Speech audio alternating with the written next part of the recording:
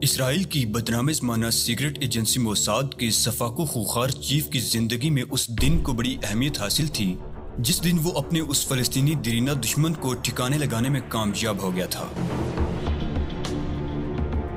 लेकिन वो इस बात से कतन बेखबर था कि वो एक बेहद खतरनाक शख्स को यहूदी कौम की दायमी बर्बादी के मंसूबे पर अमल पैरा होने पर आमादा कर रहा है।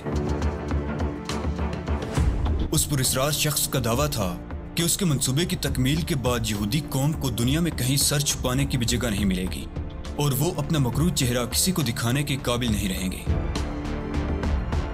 लेकिन आखिर वो खतरनाक मंसूबा क्या था? यही वो सवाल है जो कि तारीख के इस सनसनी खेज सच्चे वाक्य के शुरू से आखिर तक आपको अपनी गिरफ्त में जकड़े रखेगा। और जब जवाब आपके सामने आएगा तो आप बे अख्तियार चौंक उठेंगे। एमोस बर्नेट के साथ सीट पर बैठा था जो मुड़ मुड़ कर पीछे बैठी हुई जर्मिया और कैथी से बातें कर रहा था। मेरा ख्याल है कि तुम्हें मेन पॉइंट्स मालूम ही होंगे। तुम्हारा मतलूबा आदमी परसों रात रोम से यहाँ पहुँचा था। हमें चूँकि उसके बारे में पहले ही इतला मिल चुकी थी, इसलिए हम उसके इस्तकबाल के लिए एयरपोर्ट पर मौजूद थे। जहाज़ से उतरने के फ़ौरन ही बाद उसने जिनेवा, पेरिस का एक ओपन टिकट भी खरीदा था। फिर उसने बर्नाडर के नाम से किराए की कार हासिल की। उसने अपना पता लिंज, ऑस्ट्रिया का लिखवाया था। उसका फ्रांस का टिकट भी इसी नाम से था। Driving licence. जर्मिया ने सवालिया निगाहों से उसकी तरफ़ देखा। ऑस्ट्रियन, बर्नेड ने जवाब दिया। उसने कार का किराया पेशगी अदा कर दिया था और कहा कि कार को वो जनेवा में छोड़ देगा। हूँ जर्मिया पुरसोच लहजे में बोला। इसका मतलब है वो जनेवा जा रहा है, जहाँ से पेरिस जाने के लिए जहाज़ पर सवार होगा। बिल्कुल यही बात है, बर्नेड ने जवाब दिया। उसके बारी ओवरकोट का कॉलर उसकी ठोड़ी से टकरा रहा था। उसने कोट के बटन खोल दिए और बेचैनी से सीट पर पहलू बदलते हुए बोला, मैंने अपने असिस्टेंट टेडी को उसके पीछे लगा दिया है और पेरिस में भी अपने आदमियों को खबरदार कर दिया है। वो जनेवा या पेरिस में एक लम्हे को भी हमारी निगाहों से ओझल नहीं हो सकता। वो एक लम्हा को खामोश हुआ, फिर बात जारी रखते हुए कहने लगा, वो जनेवा के लिए मेन रोड से रवाना हुआ था, लेकिन तकरीबन पाँच किलोमीटर का फासला तय करने के बाद पायरन से जरा आगे उसने मेन रोड छोड़ दिया। तकरीबन आधी रात के लगभग वो लिब्रन नामी एक छोटे से गाँव पहुँच गया था। उसने कार एक अपार्टमेंट हाउस के सामने खड़ी कर दी थी। उस गाँव में सिर्फ़ चार पाँच इमारतें बड़ी हैं, बाकी तमाम इमारतें छोटी हैं। रात उसने गाँव में गुजारी। टैडी की रिपोर्ट के मुताबिक वो इस वक्त भी लिब्रोन में मौजूद है। क्या इस दौरान वो घर से बाहर निकला था या कोई उससे मिलने आया था? इस मरतबा जर्मिया ने आगे झुकते हुए पूछा। उसे कई मरतबा गाँव में घूमते हुए देखा गया था। हर मरतबा उसके साथ एक बूढ़ी औरत भी देखी गई है। वो औरत कौन है, उसका नाम क्या है? जर्मिया ने जल्दी से पूछा। पता नहीं। बर्नेड ने कंधे उचकाते हुए जवाब दिया। यहाँ हमें कम्युनिकेशन के मिसाइल दरपेश हैं। स्विट्जरलैंड के कानून के मुताबिक हम यहाँ वायरलेस इस्तेमाल नहीं कर सकते। हमारा दारोमदार टेलीफोन पर है। लिब्रोन एक छोटा सा गाँव है जिसमें कोई होटल भी मौजूद नहीं है। यहाँ से 10 किलोमीटर दूर एक छोटी सी सराय है। सराय में अगरचे टेलीफोन की सहूलत मौजूद है, लेकिन वहाँ भी डायरेक्ट डायलिंग नहीं है। तमाम कालें एक्सचेंज के तवसत से होती हैं। इसलिए टैडी से हमारी गुफ्तु बहुत ही मुख्तसर रहती है। इसका मतलब है तुम उसे कोई भी मदद नहीं भेज सकते। इस तरह किसी को शुभ हो सकता है। जर्मिया ने सर हिलाते हुए कहा, ठीक कहते हो। बर्नेड ने कहते हुए जेब से सिगरेट केस निकाल लिया। उसे खोलकर एक सिगरेट होंठों में दबा लिया। लेकिन जर्मिया के चेहरे पर उभर आने वाले नागवारी की तासुरात देखकर उसने सिगरेट सुलगाने की बजाय उसे दोबारा सिगरेट केस में रख लिया। लिब्रोन जैसे गाँव में कोई अजनबी किसी की नज़रों से पोशीदा नहीं रह सकता। खास तौर पर ऐसे मौसम में अगर कोई अजनबी गाँव में आकर ठहरता है तो वो खुद ब खुद मशकूक हो जाता है। यहाँ के मुकामी बाशिंदे और वो औरतें भी गालबन मुकामी ही हैं। ऐसे शख्स को फ़ौरन वो ताड़ लेंगे। मुझे टैडी के बारे में भी अंदेशा है, लेकिन मेरा अंदाज़ा है कि टैडी जिस बेस में यहाँ आया है, वो अभी तक फाश नहीं हो सका है। बसूरत दीगर वो यहाँ मौजूद ना होता। वो किस बेस में है? इस मरतबा एमोज सैंतफर ने सवाल किया। बर्नेड ने जवाब देने की बजाय नागवारी सी निगाहों से उसकी तरफ़ देखा। फिर जर्मिया की तरफ़ देखने लगा, जिसने इस बात में सर हिला दिया। बर्नेड के इस तर्ज अमल पर एमोज के दांत मीच गए। वो खुखार सी निगाहों से उसकी तरफ़ देख रहा था। जबकि बर्नेड उसकी परवाह किए बगैर जर्मिया को मुखातिब करते हुए कह रहा था, हमारे ख्याल में लिब्रोन जैसी जगह के बारे में कोई ऐसा कवर होना चाहिए था कि किसी को शुभ न हो सके। लिहाजा उस इलाके के मुताबिक हमने टैडी के लिए एक कवर तलाश कर लिया है। वो यहाँ एक नए डिटर्जेंट पाउडर की मार्केटिंग के सिलसिले में सर्वे कर रहा है। वो टैडी भी जहीन आदमी है। उसकी गाड़ी में इस तरह के कई शोबे भरे रहते हैं। साबी के आदमियों की क्या रिपोर्ट है? जर्मिया ने पूछा। साबी मोसाद ऑपरेशनल टीम का कमांडर था। वो लोग भी पहुँचने वाले हैं। बर्नेड ने जवाब दिया। कार का अंदरूनी दर्जा हरारत बढ़ रहा था और बर्नेड की पेशानी पर पसीने के कतरे चमकने लगे थे। उसने अपने कोट के बटन भी खोल दिए। चार अफराद, जिनमें तीन आदमी और एक औरत शामिल है, पेरिस से और दो आदमी तिलबीब से स्विस एयरलाइन के ज़रिए तुमसे तकरीबन एक घंटे पहले जिनेवा पहुँच चुके हैं। सभी भी आ चुका है। दो और लड़कियाँ आज रात म्यूनिक सभी जाएँगी। ये लोग हवात्मा केस पर काम कर रहे थे, लेकिन तुम्हारी हदायत पर हमने उन्हें वहाँ से हटा लिया था एमोस ने जर्मिया को बताया। उस आदमी की तस्वीरें हमें कब मिल सकेंगी? ताकि मैं ये तस्दीक कर सकूँ कि वो हमारा मतलूबा आदमी है या नहीं। जर्मिया ने बर्नेड की तरफ़ देखते हुए कहा, कैथी और एमूस ने मानी खैज निगाहों से एक दूसरे की तरफ़ देखा। उन्हें अच्छी तरह याद था कि लैले हैमर में एक गैर मुतल आदमी को रेड प्रिंस के शुबे में मौत के गार्ड उतार दिया गया था और गालबन जर्मिया को वो सब कुछ याद था। और यही वजह थी कि इस मरतबा कोई अमली कदम उठाने से पहले वो खुद तस्दीक कर लेना चाहता था कि मतलूबा आदमी वही है या कोई और है। तस्वीरें हमें सुबह मिल जाएँगी, बर्नेड ने कहा। टैडी ने आज चोरी छुपे उस नौजवान और बुरी औरत की कुछ तस्वीरें खींची थी। मेरा एक आदमी आज रात लिब्रोन से बाहर एक खुफिया मुकाम पर टैडी से मुलाकात करने वाला है। वो रात के आखिरी पहर यहाँ पहुँच जाएगा और सुबह नाश्ते की मेज पर तुम्हें तस्वीरें मिल जाएँगी। जर्मिया ने जवाब देने के बजाय इस बात में सर हिला दिया। कार में गहरी खामोशी छा गई। इस केस में ऑपरेशनल टीम के इस्तेमाल के बारे में बर्नेड को अपने सवाल का जवाब अभी तक नहीं मिला था। बिल आखिर जर्मिया की आवाज़ ने खामोशी का सीना चाक किया। जिस शख्स के लिए ये सारा सेटअप किया गया है मेरी नज़रों में वो इस वक्त दुनिया का अहम तरीन आदमी है। उसके लिए अगर मुझे इसराइल की पूरी इंटेलिजेंस को भी इस्तेमाल करना पड़े तो मैं दरेग नहीं करूँगा। वो चंद लम्हों को खामोश हो गया। उसके चेहरे पर शिकने सी उबर आई थी। लेकिन वो जुमला मुकम्मल करते हुए बोला, उसे कोई नुकसान नहीं पहुँचना चाहिए।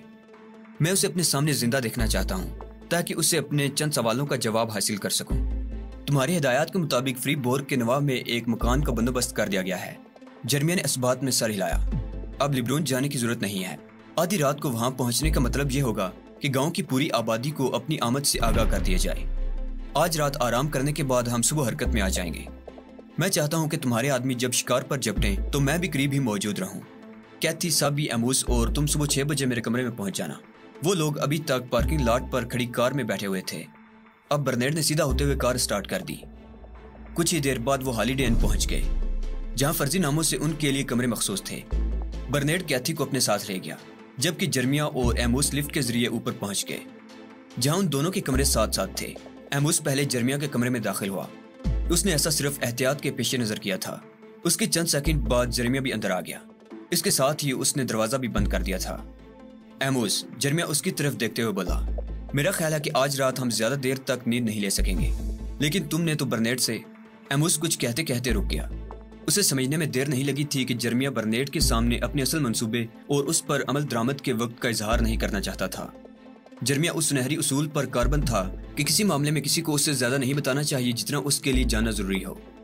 साबी को यहाँ बुला लो, जर्मिया ने कहा। उसके पास नक्शे और दीगर तमाम मटेरियल मौजूद होना चाहिए। हमें कम से कम वक्त में फैसला करके ऑपरेशनल टीम को सूरज तलू होने से पहले पहले रवाना कर देना चाहिए। उनमें से एक किसी टेलीफोन के करीब मौजूद रहेगा। जैसे ही मैं और कहती तस्वीरों की तस्दीक कर लेंगे, उन्हें ग्रीन सिग्नल दे दिया जाएगा। हमारे पास वक्त बहुत कम है। सुबह सवेरे ही शिकार को गिरफ्त में ले लेना चाहिए। ठीक है एमोस ने कहा। उसका हाथ पहले ही दरवाजे की नाप पर पहुँच चुका था। दफातन वो पीछे मुड़ा और जर्मिया के चेहरे पर नज़रें जमाते हुए बोला, मिलर से अपने सवालात का जवाब हासिल करने के बाद तुम उसके साथ क्या सलूक करोगे?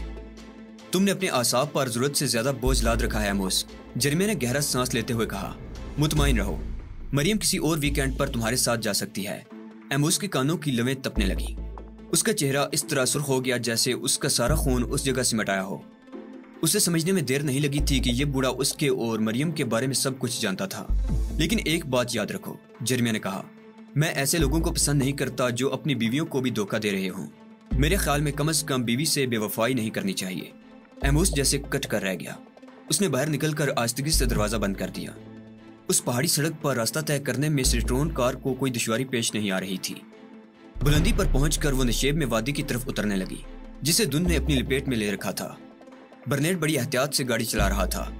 उसका मुँह फूला हुआ था। जब से उसे पता चला था कि जर्मिया रात भर साबी की सलाह मशवरे से इस मंसूबे की तफसीलात तय कर चुका है, और ऑपरेशनल टीम भी अपनी जगह पर पहुँच चुकी है, उस वक्त से उसने किसी से कोई बात नहीं की थी। उसके साथ फ्रंट सीट पर टांगे फैलाए बैठे हुए एमोस के होठों पर तंजिया से मुस्कुराहट थी। मनसूबा साजी में बर्नेट को नजरअंदाज किए जाने पर वो बहुत खुश था। उसने पीछे मुड़कर देखा। कैथी और जर्मिया अपने घुटनों पर फैली हुई तस्वीरों को देख रहे थे, जो तयशुदा वक्त से एक घंटे की ताखिर से उन्हें फराहम की गई थी। इसमें शुबा नहीं था कि वो मिलर ही था। उसने वही सिया लिबास पहन रखा था, जिसमें उसे इस्लामा की तदफीन के मौका पर देखा गया था। बाज तस्वीरों में दुबली पतली सी वो बूढ़ी भी थी। उसके बाल सफ़ेद हो चुके थे। उसने खरगोश की खाल का सस्ते किस्म का कोट और पुराने किस्म के शूज़ पहन रखे थे। एक तस्वीर में वो एक रेस्टोरेंट में बैठे दिखाई दे रहे थे। ये तस्वीर बाहर से खींची गई थी, जबकि रेस्टोरेंट के अंदर खासा हजूम नज़र आ रहा था। एक और तस्वीर में भी उन्हें सड़क पर टहलते हुए दिखाया गया था। मिलर ने बुढ़िया का हाथ थाम रखा था। बुढ़िया के चेहरे पर करख्ती के तासुरात थे, लेकिन उसकी आँखों में अजीब सी चमक थी। लगता था जैसे वो बर रास्त कैमरे की तरफ़ देख रही हो। होटल पहुँचने के बाद जर्मिया ने फैसला करने में देर नहीं लगाई थी। उसने फ़ोन का रिसीवर उठाया और नंबर मिलाकर पहले से तयशुदा लफ्ज एवर ग्रीन दोहराकर फ़ोन बंद कर दिया। ये मिलर को अगवा करने के लिए ग्रीन सिग्नल था। इसके बाद उन्होंने पूरी तरह नाश्ता भी नहीं किया था और बड़ी अजलत में होटल से निकल गए थे। वो क्या है? बर्नेड बड़बड़ाया। उसके सामने धुंध में अचानक ही दो हेवले उभराए थे। बर्नेड स्टेयरिंग व्हील पर कदरे आगे झुककर गौर से उन हेवलों की तरफ़ देखने लगा। कारें, वो एक बार फिर बड़बड़ाया। और एक सेकंड बाद उसके मुँह से बेअख्तियार निकला। मारी कारें। उसने बड़ी एहतियात से अपनी कार सड़क पर खड़ी हुई उन दोनों कारों के पीछे रोक ली। अगली कार में से एक इंसानी हेवला नमदार हुआ। वो एक सेकंड को सेट्रोन के सामने रुका, फिर उसने आगे बढ़कर पिछला दरवाज़ा खोल दिया। वो मोसाद की ऑपरेशनल टीम का सरबरा साबित था। बुरी खबर है, जर्मिया। वो दरवाजे में घुसने की कोशिश करते हुए बोला। कैथी और जर्मिया उसे जगह देने के लिए सीट के दूसरी तरफ़ से रख गए। मरा पंछी एक घंटा पहले उड़ चुका है और अब पिंजरा खाली है। क्या बकवास कर रहे हो? जर्मिया के हलक से बेड़िए किसी गुराहट निकली। वो एक घंटा पहले रोशनी की पहली किरण के साथ ही निकल गया था। साबी ने जवाब दिया सर्दी की शिद्दत से उसका चेहरा सुर्ख हो रहा था। जिस वक्त हमने तुम्हारा ग्रीन सिग्नल रिसीव किया था, उस वक्त वो अपने मकान से निकलकर सड़क पर पहुँच चुका था। तुमने सिग्नल देने में इतनी देर क्यों कर दी? तस्वीरें तैयार नहीं हुई थी। कहते हुए जर्मिया के दांत बींच गए। इसके साथ ही उसने खूंखार निगाहों से बर्नेट की तरफ़ देखा। बहरहाल, साबी ने कंधे उचकाते हुए कहा तुम्हारा ग्रीन सिग्नल मिलने में इतनी ताखिर हो चुकी थी कि उस पर काबू पाने की कोशिश करना बेकार होता। क्योंकि हम हाईवे पर कोई ऐसी हरकत करके किसी किस्म का खतरा मोल नहीं ले सकते थे। एमोस ने कनखियों से जर्मिया की तरफ़ देखा। उसने बड़े मियाँ को कभी भी इस कदर गुस्से में नहीं देखा था। वो बिल्कुल बेहिसो हरकत बैठा हुआ था। आँखों से चिंगारियाँ से फूट रही थी। अब वो कहाँ है? बिल आखिर उसने पूछा। टैडी उसके ताकू में गया था। साबी ने कहा, जनेवा में रुके बगैर वो कोनीटेरिया एयरपोर्ट पर पहुँच गया। और कस्टम्स वगैरह से निमटने के बाद, इस वक्त पेरिस जाने वाली पहली प्रवाज में सवार होने के मुंतजर है। जर्मिया के मुँह से गहरा सांस निकल गया। वो अपनी बीची हुई मुठियों को देखते हुए सर को दाएँ बाएँ हरकत देने लगा। लानत हो, वो बड़बड़ाया। इंतहाई मेहनत से तैयार किए हुए मंसूबे का महज इसलिए बेड़ा गर्क हो गया कि वो कम वक्त टेक्नीशियन वक्त पर तस्वीरें तैयार नहीं कर सका था। लानत हो उस पर। हम उसे पेरिस में भी पकड़ सकते हैं, साबी ने कहा। हमारे आदमी एयरपोर्ट पर उसके मुंतजर खड़े होंगे। अहमकाना बातें मत करो। पेरिस में उस पर हाथ डालना इतना आसान नहीं होगा। यहाँ की बात और थी। वो हमारी मुट्ठी में था, इसके बावजूद निकल गया। उसके खामोश होते ही कार की फजा में सन्नाटा तारी हो गया। चंद लम्हों बाद जर्मिया ने ही ज़ुबान खोली थी। मालूम किया वो बुढ़िया कौन है? तुम्हारे ग्रीन सिग्नल मिलने से पहले मैंने टैडी से इस मामले में बात की थी। उसने बताया था कि एक मौका पर उस नौजवान ने बुढ़िया को म्यूटी कहकर मुखातिब किया था। म्यूटी जर्मन ज़ुबान में माँ को कहते हैं। माँ, जर्मिया के चेहरे पर उलझन के तासुरात उभर आए। वो कौन है? उसका नाम क्या है? अभी तक मालूम नहीं हो सका। साबी ने कंधे उचकाए। लेकिन ये कोई मसला नहीं है। उसका एड्रेस हमें मालूम है, नाम का भी पता चल जाएगा। ठीक है, अब चलो यहाँ से। जर्मिया ने कहा, क्या अब तुम उस मकान पर जाना पसंद करोगे जो तुम्हारे लिए हासिल किया गया था? इस मरतबा एमोस बोला, क्या टीम के आदमियों को? मैं कहता हूँ, चलो। जर्मिया के हलक से उगराहट से निकली। साबी, तुम हमारे साथ ही रहो और बर्नेट को रास्ते के बारे में हदायत देते रहो। बर्नेट ने इंजन स्टार्ट कर दिया। उन्हें गाँव में से दाखिल होकर गुजरना पड़ा था। बर्नेट ने कार की रफ्तार तेज कर दी थी। एमोस अपनी जगह बेहिसो हरकत बैठा बाहर देख रहा था। बड़ा खूबसूरत गाँव था। छोटे छोटे कॉटेज बड़े अच्छे लग रहे थे। एक छोटा सा चर्च भी नज़र आ गया था। एक चौराहे पर बर्नेड ने रफ्तार कम किए बगैर गाड़ी अचानक ही दाएँ तरफ़ वाली सड़क पर मोड़ दी। कार उस घोड़ा गाड़ी से टकराते टकराते बची जिस पर दूध के बड़े बड़े कैन लदे हुए थे। कार की वजह से घोड़े बेकाबू हो गए थे। बूढ़े गाड़ी बाँध ने घोड़ों को कंट्रोल में रखने की कोशिश करते हुए अजीब सी निगाहों से उनकी तरफ़ देखा था। दो चार मंजिला इमारतें गाँव के जनूबी सिरे पर वाक़ थी। सुरख छतों वाले खूबसूरत वलाज के मुकाबले में ये बेरंग इमारतें खासी बदी लग रही थी। वो है उस बुढ़िया का मकान। साबी ने बाएँ तरफ़ सड़क के किनारे पर वाक़ तीसरे मकान की तरफ़ इशारा किया। मकान के बरामदे में अभी तक जर्द रोशनी वाला बल्ब जल रहा था। इस तरफ़ से आओ जर्मिया, कैथी ने कहा, लेकिन जर्मिया ने शायद उसकी बात सुनी ही नहीं थी। वो गेट के दाएँ तरफ़ रुक कर लेटर बॉक्स पर लिखा हुआ नाम पढ़ने की कोशिश कर रहा था। दफातन वो इस तरह बेहिसो हरकत हो गया जैसे वो पत्थर के मुजस्मे में तब्दील हो गया हो। उसे अपनी रगों में खून मुंजमिद होता हुआ महसूस आने लगा। क्या बात है, जर्मिया? कैथी ने उसका हाथ पकड़कर हल्का सा झटका देते हुए पूछा। जर्मिया अब भी बेहिसो हरकत खड़ा था। उसका चेहरा राख की तरह मुरझाया हुआ और आँखें फटी हुई सी थी। बिल आखिर उसने हाथ ऊपर उठाया और उंगली से गेट पर लगे हुए लेटर बॉक्स की तरफ़ इशारा किया। नैना कोलाई शेख, वो बड़बड़ाया। ओ मेरे खुदा, मैं सोच भी नहीं सकता था। बादामी रंग वाला दुबला पतला कीता सिनोसी सफारत खाने की इमारत में अपने दफ्तर की कुर्सी पर बैठा, सामने वाली दीवार को घूर रहा था। उसका मुँह इस तरह फूला हुआ था जैसे किसी बात से नाराज़ हो। यूरोपियन लिबास में वो अपने आप में अजीब सी बेचैनी महसूस कर रहा था। कोट उसके स्थानी जिसम पर खासा ढीला था। कलफ लगे हुए कॉलर और टाई की गिरा से उसे अपना सांस घुटता हुआ महसूस हो रहा था। कीता सिनोसी को कई वजूहत की बिना पर पेरिस से नफरत थी। सख्त सर्दी, शहर के इलाके में लोगों की भीड़ भाड़ सड़कों पर दंदनाती हुई कारें, कारों से ज़्यादा तवाइफें हर रागीर को घेरने की कोशिश में मसरूफ नज़र आती और बिगड़ा हुआ माशरा। सिनोसी अभी तक इस अयाश कौम को नहीं समझ सका था। अगर उसके बस में होता तो बहुत अरसा पहले यहाँ से भाग कर अपने वतन पहुँच चुका होता। जहाँ वसी और रेत के समंदर में कारवानों की ऊँटों की गर्दनों में बंधी हुई घंटियों की आवाज़ें बड़ा सहर अंगेज तासुर पेश करती थी। वो एक चरवाहे का बेटा था। उसकी माँ का ताल्लुक भी जरा के पहाड़ी इलाके में आबाद एक कबीले से था।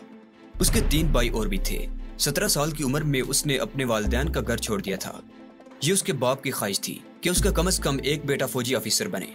और ये कुरा कीता के नाम निकला था। कीता बुजदिल नहीं था। एक मरतबा फौजी वर्दी पहन लेने के बाद उसने कभी भी फौज से भागने की कोशिश नहीं की थी। लेकिन फौज की सख्त पाबंदियाँ उसे पसंद नहीं थी। इसके बावजूद उसने कभी फौजी कवानीन की खिलाफ वर्जी नहीं की थी। एक रोज दारना बीच के करीब फौजी मशकों के दौरान उसके कैप्टन ने अचानक ही उसे अपने खेमे में तलब कर लिया, जहाँ गहरी रंगत का एक मेजर भी बैठा हुआ था, जिसकी सुर्ख आँखों से चंगारियाँ सी फूटती हुई महसूस हो रही थी। मेजर ने उसे फौजी और मजहबी रुझानात के बारे में मुतद सवाल किए। इस वाक़े के तीन महीने बाद वो तंद खो मेजर, जो अब कर्नल बन चुका था, लीबिया का हुक्मरान बन गया। उसने एक पुरमन इनकलाब के ज़रिए शाह अदरीस सैनूसी की हुकूमत का तख्ता उलट कर एनानी हुकूमत खुद संभाल ली थी। कीता सैनूसी को लेफ्टिनेंट के अहदे पर तरक्की देकर इस्लामी रिपब्लिक ऑफ़ लीबिया के पहले सदर कर्नल कजाफी की पर्सनल सिक्योरिटी का इंचार्ज मुकर कर दिया गया था। कीता सिनोसी जल्द ही उस ग्रुप में शामिल हो गया, जो लीबिया की सरहदों से बाहर कजाफी के खुफिया मनसूबों की तकमील का जिम्मेदार था। कई हुरियत पसंदाना तहरीकों में हिस्सा लेने के अलावा कीता सिनोसी फलस्तीनी हुरियत पसंदों की तंजीम पी एल ओ और लिबिया की हुकूमत के दरमियान अफसर रबता के फ़राइज भी अंजाम दे रहा था। वो कई यूरोपीय ममालक का सफ़र भी कर चुका था, जहाँ लिबिया के सफारत खानों में उसने ऐसे शोबे कायम किए थे, जहाँ से फलस्तीनी हुरियत पसंदों और उनके हमायतियों को असलिया शनाख्ती कागजात और फंड मुहैया किए जाते थे। कुछ अर्सा कबल कीता सिनोसी को पेरिस में लिबियन सफारत खाने में सिक्योरिटी इंचार्ज बनाकर भेज दिया गया था। उस इलाके में पी एल ओ से ताल्लुक रखने वाले हुरियत पसंद और उनके हिमायती अब उससे रबता कायम करते थे। गुजशत हफ़्ते उसे ऊपर से इतला मिली थी कि एक यूरोपियन नौजवान उससे रबता कायम करने वाला है। ये पैगाम उसे खुद यासर अरफात ने दिया था। एहतियात के पेश नज़र इस मतवक़ मुलाकाती का असल नाम नहीं बताया गया था।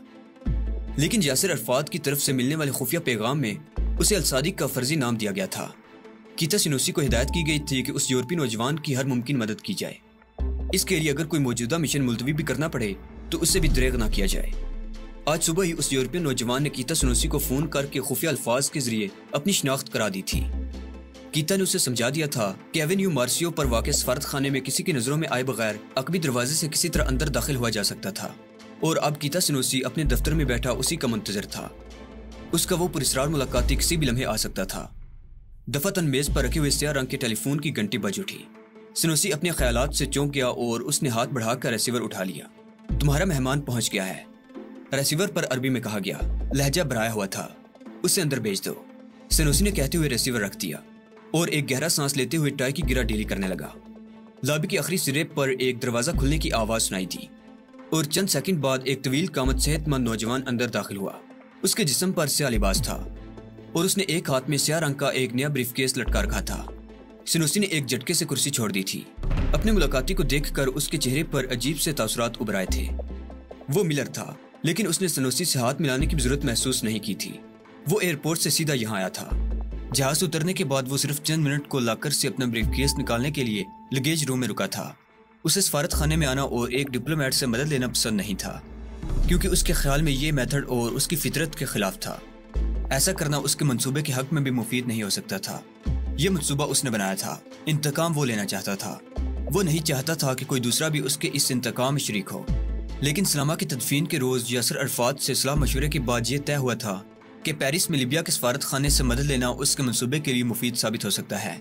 खारजी तौर पर ही सही, सनोसी इस मामले में उसकी हर मुमकिन मदद करेगा। मैं अल सादिक हूँ। उसने सामने खड़े हुए सिनोसी को मुखातिब करते हुए कहा, इस अटैची केस में एक हथियार मौजूद है। इसे एक हफ़्ते के अंदर अंदर यरूशलेम के एक पते पर पहुंचाना है। लेकिन इससे पहले मैं इसकी साइड एडजस्टमेंट के लिए फायर करना चाहता हूँ। मेरे साथ आओ। सिनोसी सर हिलाता हुआ दरवाजे की तरफ़ बढ़ गया। वो लाबी उबूर करके दाएँ तरफ़ एक दरवाजे के सामने रुक गया। सिनोसी ने जेब से चाबियों को गुच्छा निकाल कर एक चाबी मुंतखब करके दरवाज़ा खोला और दोनों अंदर दाखिल हो गए।